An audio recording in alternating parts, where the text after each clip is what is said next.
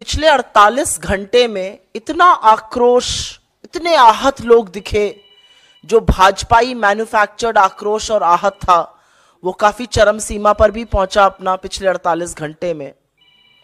मैं दो चार बातें धर्म के बारे में और जो धार्मिक बातें हो रही हैं, उसके बारे में कहना चाहती हूँ। धर्म जो है, वो व्यक्तिगत आस्था का विषय है। हम में से हर व्यक्ति किसी ना किसी धर्म का अनुयायी है, धर्म के मूल्यों को लेके जीता है, धर्म के मूल्यों को लेके मानता है। तो जब धर्म व्यक्तिगत आस्था का विषय है तो उसका इतना विभत्स राजनीतिकरण क्यों किया जा रहा है? क्या उसका इतना विभत्स राजनीतिकरण होना सही है? यह पहला, पहली बात मैं आपके सामने मुखरता से रखना चाहती हूँ। दूसरी ज़रूरी बात, धार्मिक अनुष्ठानों का काम, धार्मिक अनुष्ठानों को करने की विधि, धार्मिक अनुष्ठानों को करने का तरीका, धार्मिक लोग जो संबंधित हैं, जो इसको करते हैं, उन पर छोड़ देना चाहिए।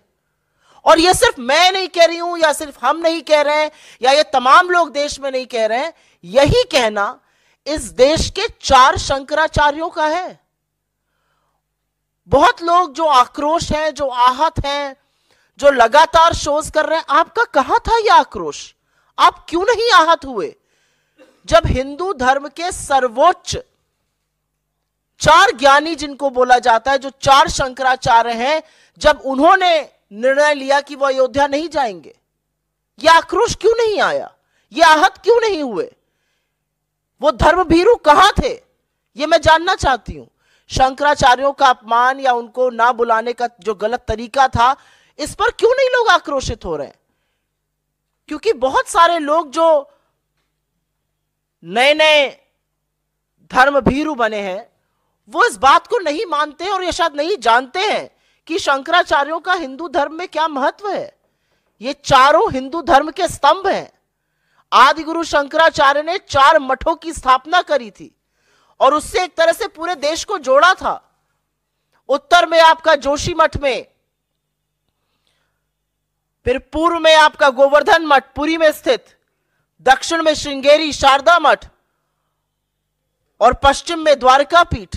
और इन चारों शंकराचार्यों ने निर्णय लिया है कि वह अयोध्या नहीं जाएँगे, और इस पर कोई आक्रोश नहीं है। क्या यह धर्म को आहत नहीं कर रहा है?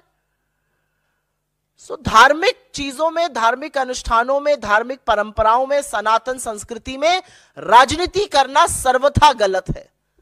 हम कहाँ जाने से मना कर रहे हैं?